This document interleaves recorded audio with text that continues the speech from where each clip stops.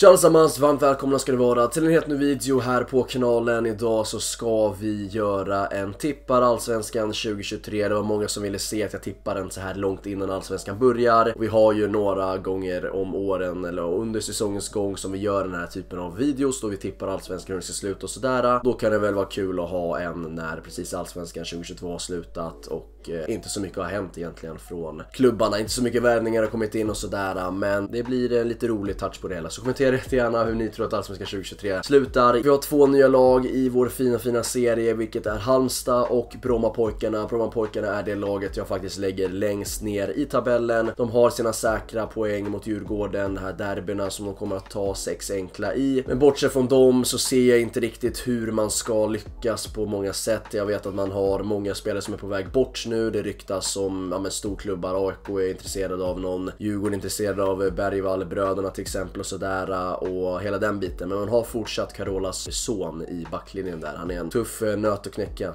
Verkligen. Och sen är det ju lite känt att BP hoppar i divisioner så ja, de hoppar upp här från division 1 till superettan till allsvenskan. Nu kommer de åka ner till superettan, de åker ner till division 1, börja om där och göra samma resa igen. Så det, det, är ett sånt lag som hoppar i divisioner och jag tycker att deras lag ser för tunt ut för att kunna köra en hel allsvensk säsong och göra tillräckligt bra ifrån sig så man klarar liksom en 13 plats som, som sämst. Det skulle vara väldigt imponerande faktiskt om BP gör det. Sen vet inte jag, de kanske får in det, de kanske behåller massa viktiga nyckelspelare inför nästa säsong. Vad det verkar som så kommer de att sälja mycket, de lär inte få in det, är inte en klubb som ja, men sprudlar marknaden med att eh, ja, alltså, spelare känner att där vill jag gå liksom. Så det, här, det kommer bli tufft för dem den här säsongen, tyvärr. BP är ah, helt ärligt inte en lag som jag tycker ska vara i Allsvenskan så det är väl mer rätt att de åker ner direkt då och sådär. Men jag tycker det är kul att de är här igen, var ju eh, 2018 senast då man var här och eh, ja, inte gjorde bäst ifrån sig riktigt. Nej men jag tror helt enkelt att eh, BP hamnar sist. På 15 plats har jag satt Varberg Boys. De klarade sig ju via kvalet, vann 4-2 där totalt mot Öster. Öster var det laget som jag höll lite på i det kvalet om jag ska vara ärlig. För jag vill ha lite förändring där. Jag tycker att eh, Öster ska köra i Allsvenskan. Var ett tag sedan när jag började kolla på Allsvenskan så var Öster ett lag som kör där och de har ja, men lite SM-guld också tror jag i pokalskåpet. Varbergs första säsong någonsin i Allsvenskan var ju 2020 och därefter har man gjort det ja, men helt okej. Okay. Sen hamnar man på kval här i år men klarar sig via det. Men jag tror inte att man kommer att kunna köra samma visa den här, eh, här nästa år heller. Det ryktas om att deras mittfältare Leroux, tror jag han heter, ska till Malmö, vilket är en fin nyckelspelare för dem. Jag tror också det är många andra spelare i deras trupp som är aktuella för allsvenska klubbar eller klubbar utomlands liksom. De har en del guldkorn där i sin trupp som jag tycker man borde kolla lite på. Det tror jag att man kommer tappa. Sen tror inte jag man kommer få in så bra spelare som gör att man kommer att kunna hamna elfte plats typ. Utan man kommer att kämpa i botten. Sen när det blir att man klarar sig precis undan kval eller om det blir kval eller om man är helt utspelad och hamnar sist. Det vet jag inte. Jag har varit hård mot Varberg men nu eh, nästa säsong tror jag faktiskt att det är dags för dem att åka ut. Får se lite vad jag tippar nästa gång men eh, det känns inte som att de kommer få in så mycket bra heller inför nästa säsong. Kvalplats har jag satt eh, Värnamo. Det är ett lag som har varit otroligt duktiga den här säsongen, hamnar på en tionde plats.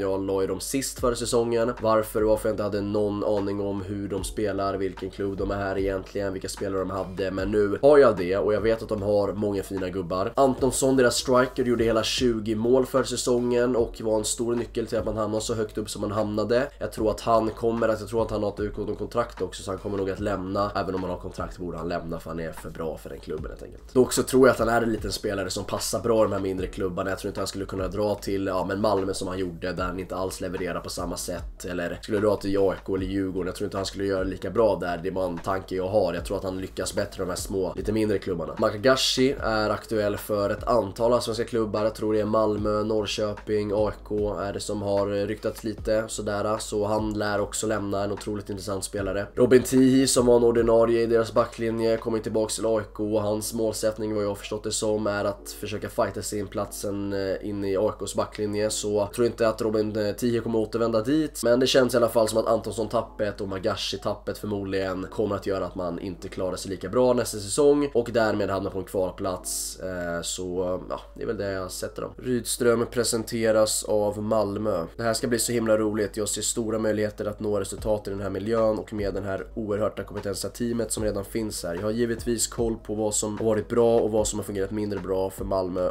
FF under den här säsongen men får det göras en större analys av det senare. Han fortsätter. Jag har varit här många gånger som motståndare och det, det man tänker på när man tänker på Malmö är kanske framförallt att det trycket som supporterna kan skapa här inne. Det räcker att Malmö kommit in på offensiv planhalva för att man ska motståndare känt eh, sig nedtryckt under lägsen även fast man kanske inte varit det sett i målchanser och så vidare. Jag vill att vi spelar en fotboll som gör att trycket från supporterna blir ännu större. För mig sitter fotboll mycket i huvudet och om en så tvivel hos motståndare. Och i samband med publiken ska vi verkligen göra det.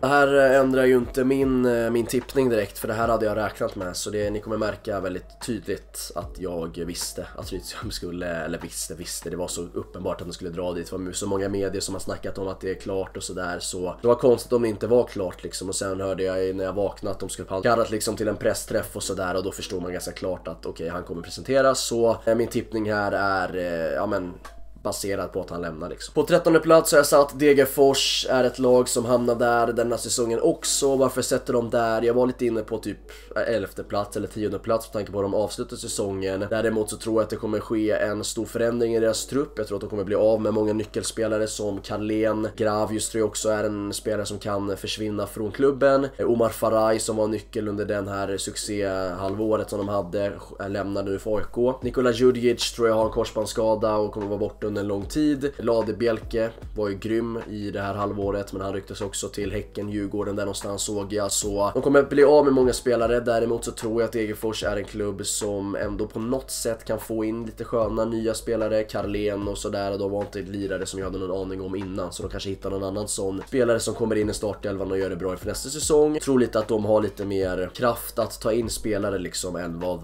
Värnamo, Varberg och BP har om jag ska vara helt ärlig. 13 plats känns rimligt. Jag tänkte sätta dem högre som sagt men jag tror att de kommer tappa mycket och, eh, och sådär. Men eh, de har ju varit här i Allsvenskan två säsonger och klarat sig kvar precis så eh, jag tror att de gör det detta året också. På 12 plats så har vi alltså Mjällby. Mjällby är ett lag som jag inte tror kommer hamna högre än 12 Varför är främst för att de kommer tappa otroligt många spelare. Gracia är ju nu redan, den redan tackat för sig. Det väntas bli officiellt snart att han ska till Djurgården. Vi har Samuel Brolin som kommer lämna och förmodligen bli såld till Danmark eller har ryktats som Malmö också. Vi har en 18-åriga talangen som eh, ja, har dragit på sig en korsbandsskada och troligtvis missar hela nästa säsong. Och de har flera spelare i truppen som är intressanta för andra klubbar så jag tror absolut att Mjällby kan åka ut inför nästa säsong. Jag skulle kunna sätta dem på en kvalplats och sådär och dra upp Värnamo och Degerfors om jag ska vara helt ärlig men eh, någonting säger mig att Mjällby är Mjällby, de kommer klara sig kvar på något sätt. Kommer göra det bra liksom. Sen brukar det ofta vara tight där mellan 13, 12 och sådär i vanliga fall så jag tror att det blir det även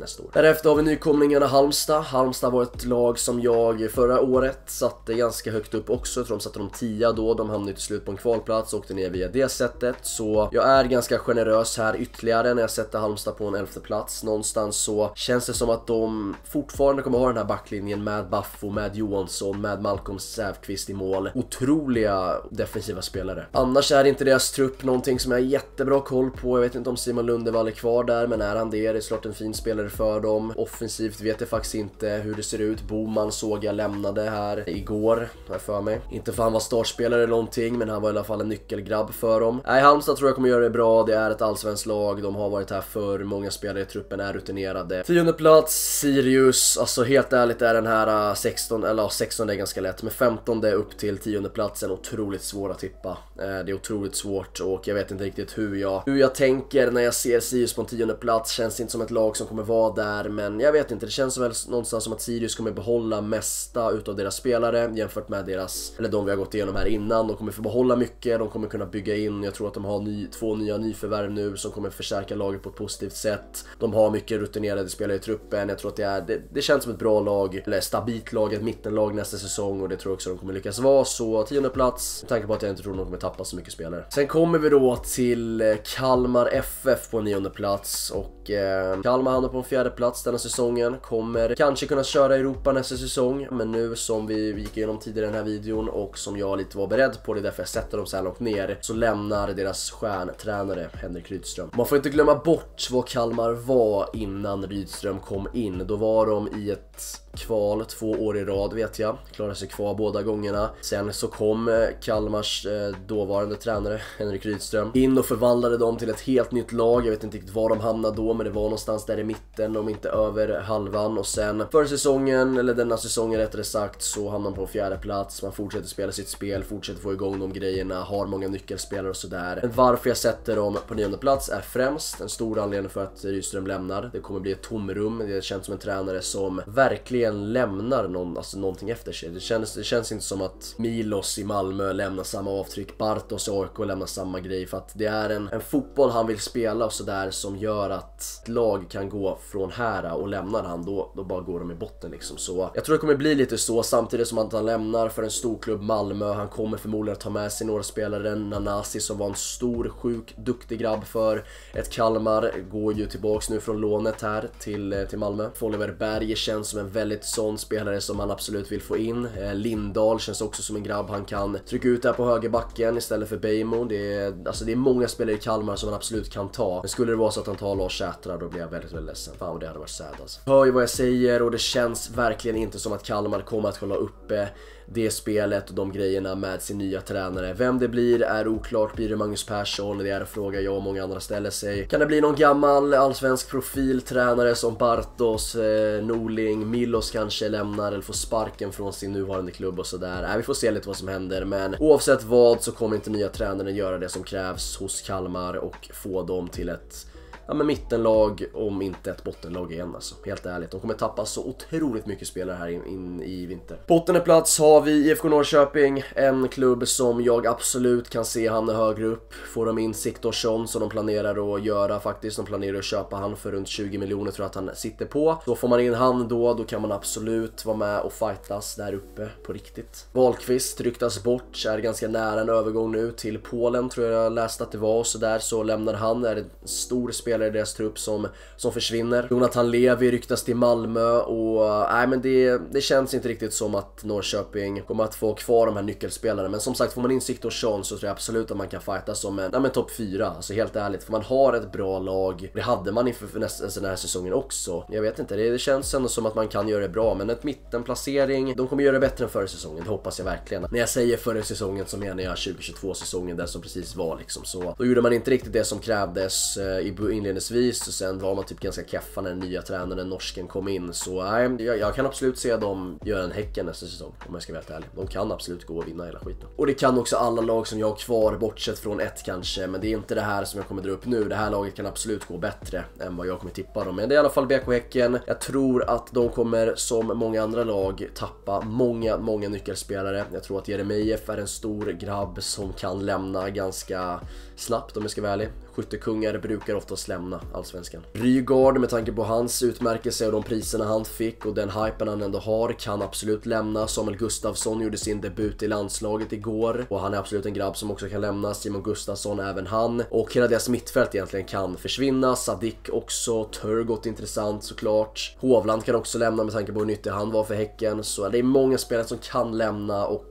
jag ser liksom inte hur de ska lyckas kombinera Allsvenskan med Europaspel för att de kommer med största sannolikhet hamna i ett Europagruppspel. Sen när det blir Champions League, troligtvis inte. Europa League, troligtvis inte. Men Conference League bör det bli med tanke på att man har liksom Champions League, åker man ut där hamnar man i Europa League-kvalet. Åker man ut där så hamnar man i Conference League-kvalet. Så ni förstår att de har liksom extra chanser vilket gör att om de skulle ta sig vidare från första omgången i Champions League-kvalet så har de, tror jag till och med att de kan åka ut, när de måste vinna två kvalmatcher för att komma in, för att säkra ett gruppspel i någon av turneringarna liksom. Och det kommer man förmodligen göra och det tror jag absolut inte man kan kombinera. Om man tappar så många spelare som jag förväntar mig att man ska göra och kombinera det med Allsvenskan och Champions League slash ett Europa-kval då, nej det kommer aldrig gå och Häcken kan absolut. Jag tror inte de hamnar högre än sjua. Just nu, vad jag känner just nu, absolut inte. Sen får vi se i, när jag tippar i april igen, eller i mars, vad fan det blir. Många spelare de har tappat och ditten och datten. För blir det så att de inte tappar någon grabb och bara får in och bara förstärker laget så äh, då är det ett lag som kan fightas som topp 3. På sjätte plats har vi IFK Göteborg. När jag så att alla lag jag har kvar kan vinna SM-guld så var ju IFK Göteborg det laget som jag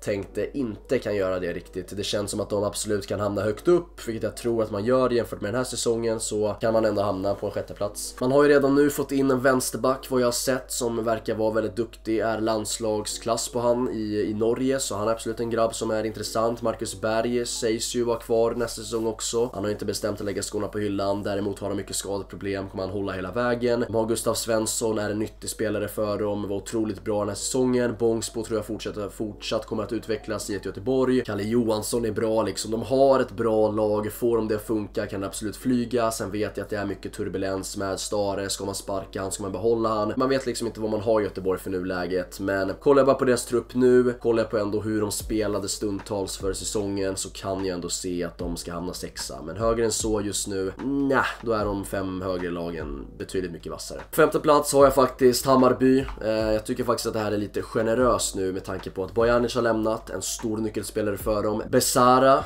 har enligt uppgifter tackat nej till det kontraktet, det nya kontraktet som Bayern har erbjudit han. Så han tyckte det var för dåligt helt enkelt. Och det visar alltså, jag tycker det där är så jävla det blir lite att han blir kaxig att okej okay, jag gjorde 22 poäng, jag var helt överlägsen i mitt lag. Det är klart att jag inte ska tacka ja till ett sånt här pris. Men samtidigt det var Bayern som tog dig igen till Allsvenskan, som tog dig till startplatsen som tog dig till att visa upp Allsvenskan hur, hur bra du egentligen är. Nu vet inte jag erbjudandet var, det kanske var att de la 10 kronor i månaden till han, vilket uppenbarligen inte stämmer. Men oavsett vad så är det en lön som är alltså nice så. Men han, han känner väl att han är tillräckligt, eller han, han blir ju inte yngre direkt så han kanske vill testa på ett utlandsäventyr igen och sen återvända till Bayern eller vad fan som helst. Men lämnar han också då har de ett mittfält som är jäkligt svag och ett mittfält som vi varit inne på mycket är viktigt under en hel säsong och för att hamna högt upp i tabellen. Men bortsett från dem så tror jag att man kommer få behålla mycket spelare som Berisha som jag tror kommer flyga nästa säsong. Man har Ludvigsson, om inte han lämnar, gjorde ändå mycket poäng han också. En spelare som nobbade det här lilla kontraktet som klubben som Bojanic till slut gick till och istället förlängde med Bayern. Jag kan säga så här, det är skillnad på spelare och spelare hörni. Vilken kille. Kurtulus lär också kanske lämna med tanke på hans eh, succéår. Jas kommer lämna som är nyckelspelare för dem. Äh, faktiskt, alltså när jag, när jag pratar om det, jag kan absolut sätta Bayern på en åttonde plats helt ärligt. Det känns som att de kan, kommer att kunna ha ett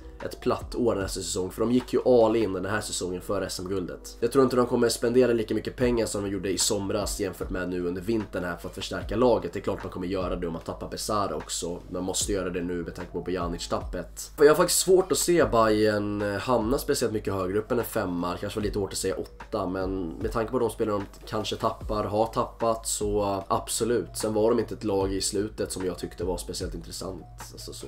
Fjärde plats har jag Elfsborg Elfsborg. Det är ett lag som avslutade den här säsongen, eller förra säsongen, med eh, bravur. Och det brukar ofta vara så att de lagen som avslutar bra fortsätter också bra in till våren. Sen om man gör det hela säsongen, det är frågan många ställer sig. Men man brukar ändå kunna rida på den här sista bra perioden under en säsong till nästa säsong och börja väldigt bra där. Vilket jag tror att man kommer göra, jag tror inte man kommer ha en sån där lång svacka nästa säsong och vi vet ju alla, hade man bara vunnit två matcher av den här, de här svackan man hade så hade man hamnat före AIK Man hade hamnat kanske till och med före Kalmar och sådär och hamnat betydligt mycket högre upp och hamnat på en fjärde plats så jag tror att man kommer lyckas göra det bättre den här säsongen men det är de övre lagen som jag tror kommer fightas om det, eller ja, två av lagen som kommer fightas om det. Det andra vet jag knappt varför jag satt så högt upp om jag ska vara ärlig. Sen tror inte jag att de kommer tappa jättemycket spelare. Väisänen ryktas ju bort men han var inte jättebra den här säsongen jämfört med förra tycker jag. Johan Larsson lär vara kvar, Bernason lär inte kanske vara kvar hela säsongen, kanske lämnar i sommar eller till och med vinter här men han är otroligt nyttig och otroligt bra spelare för dem. De har Draka som lär få ett ännu större lyft nästa säsong. De har ett bra mittfält generellt. Men de har ett bra allsvenskt lag som kommer att göra det bra mot de mindre klubbarna, kommer att göra skrällar mot toppklubbarna. Så nej, det, jag, jag kan absolut se dem hamna högre upp och byta plats med trean faktiskt. På tredje plats då har vi AIK. Högre än så kan jag absolut inte sätta dem. Kollar man på truppen just nu så är de knappt i topp 5 och härjar om jag ska vara ärlig. Men jag tror och vet att det kommer ske förändringar, kommer ske någonting stort i truppen. Många kommer lämna, många kommer komma in.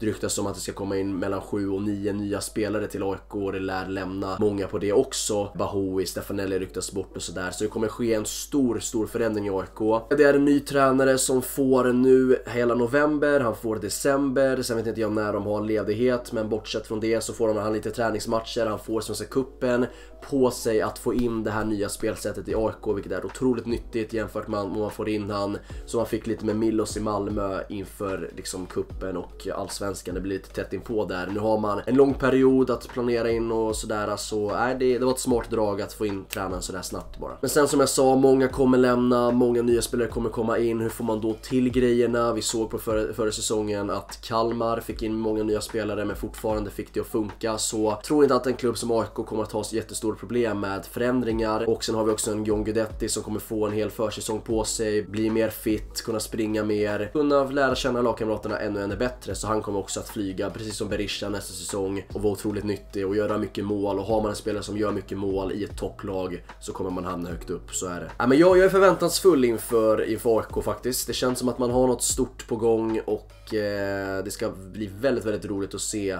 vad AIK kan leverera med Brännan, med de nya spelarna som kommer in, med Omar Faraj med mera. Det är fin framtid ändå. Jag känner hopp som Marcus supporter att det, det kan gå vägen om alla bitar faller på plats. Och de här två lagen är de som jag tror kommer fightas om guldet och vara med in till det sista. Någonstans säger det mig att det laget jag tippar SM-guld kommer att typ jogga hem nästa säsong. Så mitt andra placerande lag är Djurgården. Det är ett lag som den här säsongen hamnade på en andra plats. Det är ett lag som är i en åttondelsfinal i Conference League efter att man har joggat hem sin grupp. Det är ett ett lag som inte kommer tappa jättemånga viktiga spelare. Jag vet inte riktigt vilka man skulle tappa. Findell har ryktats bort lite, Ekdal har ryktats bort lite, men det är spelare som jag tror att man kommer kunna ersätta liksom hyfsat bra i alla fall. Och med detta succéår så är det ett lag som kan göra lite vad de vill i transferfönstret. De kan sälja, alltså säljer de Findell, jag såg att det skulle vara så 25 miljoner, säljer de han för det har de mycket mer pengar att jobba sig med. De har dragit in runt 80 miljoner tror jag på det här Conference League-spelet, så de har stålars i banken, de har en trupp som jag tror kommer att kunna fungera nästa säsong också. De kommer göra förstärkningar, kommer bygga upp truppen till en ännu större grej. Just det, Gracia kommer ju för fan in. Han blir perfekt ersättare till Ekdal. Riktigt bra värvning,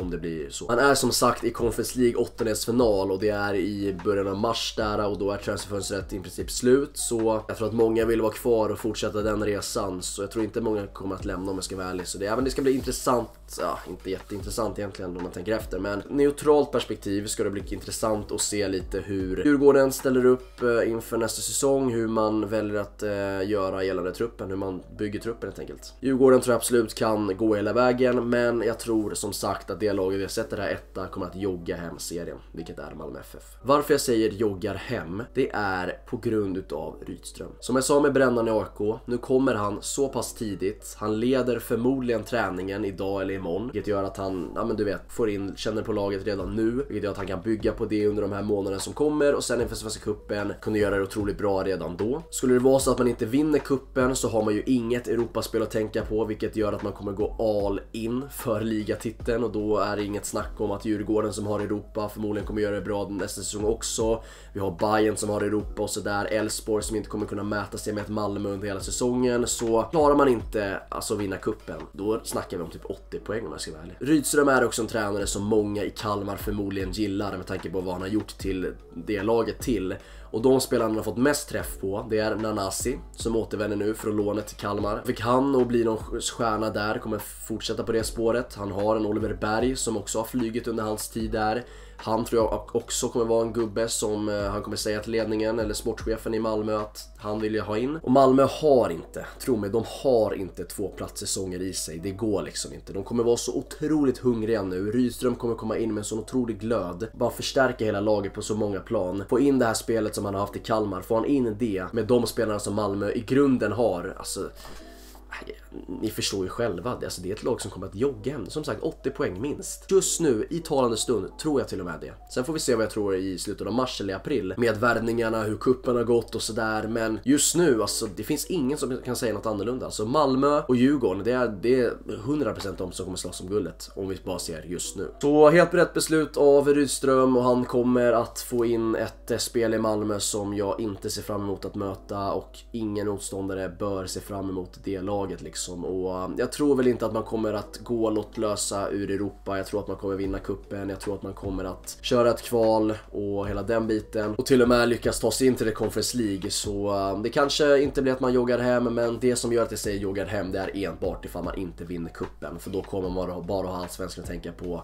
Och då vet vi aldrig hur farliga Malmö är. De placeringar är jag 100% säker på, kommer förmodligen att ha dem i, i slutet av mars-april där också. Det är BP, det är Malmö, det är Djurgården. Det är de jag är säker på just nu. Sen resten kan sluta hur som helst. Jag kan till och med ta upp Varberg till en tionde plats om de skulle göra bra nyförvärv och sådär. Jag kan dra ner Kalmar ännu mer, dra ner Häcken ännu mer, dra ner Göteborg, dra ner Bayern. Alltså allting kan hända i den här tabellen. Det är de placeringarna jag är säker, säkrast på och just nu så är det så här jag tror att Allsvenskan 2023 slutar. Men som sagt, det, alltså, det ska inte gå att tippa den här alltså, så här tidigt, in på, alltså, tidigt in inför nästa säsong. 2022 precis slutat, 2023 inväntar och sådär. Men kommentera jättegärna hur ni tippar, det skulle vara jätteroligt att läsa och se. Så ja, kommentera också lite vad ni tycker om er klubb, eller vad ni tycker om Rydströms grejen. Allmänt bara, skriv mycket om Allsvenskan, det är skitkul att läsa. Ha det bra nu. Just det, det är ju VM. Nu det här var sista allsvenska videon på ett otroligt bra tag. Nu är det VM som gäller. kör vi.